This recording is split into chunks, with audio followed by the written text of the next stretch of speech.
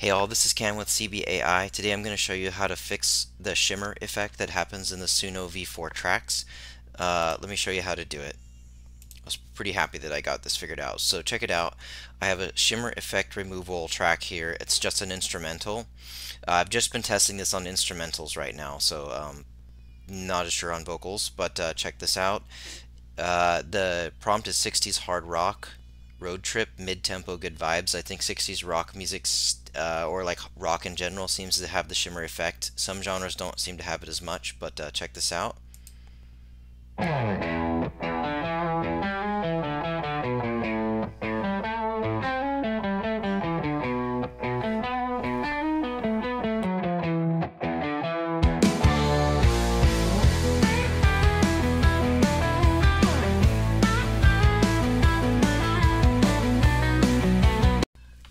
Okay, so that's the V4. It's terrible, has a lot of that shimmer effect. Check this one out.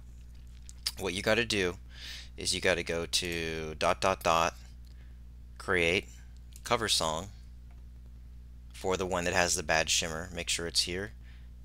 Uh, I don't have lyrics. Change it from V4 to V3.5. Copy paste in the exact genre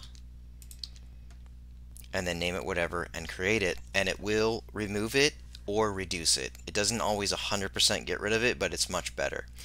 So let me show you. I just did that with this track on this one. It worked really well. I named it Pass. Check it out.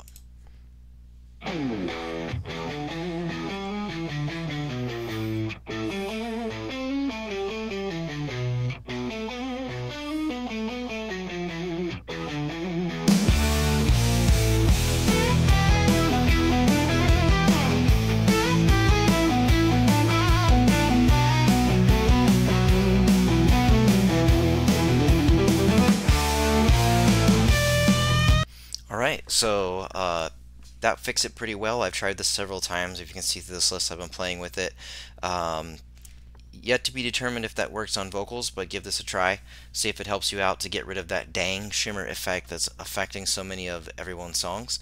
And uh, this is Cam with CBAI. If you found this video helpful, give me a like, comment, subscribe, and all that good jazz, and I'll see you next time.